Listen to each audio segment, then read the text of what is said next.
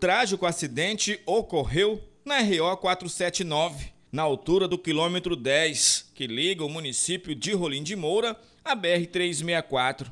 Conforme informações, o motociclista seguia sentido a Rolim de Moura e, por motivos até então desconhecidos, acabou batendo de frente com um veículo de passeio que trafegava no sentido oposto.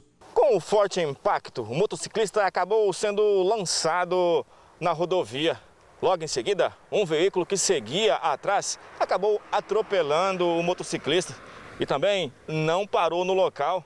A vítima foi identificada como Carlos Alberto e morreu na hora. O corpo de bombeiros foi acionado. No entanto, constatou que a vítima não apresentava mais sinais vitais. O veículo tinha quatro ocupantes e dois destes foram socorridos até a unidade de pronto atendimento, a UPA, para receber cuidados médicos. A equipe da Polícia Militar e Polícia Técnica foram ao local para realizar os trabalhos de praxe.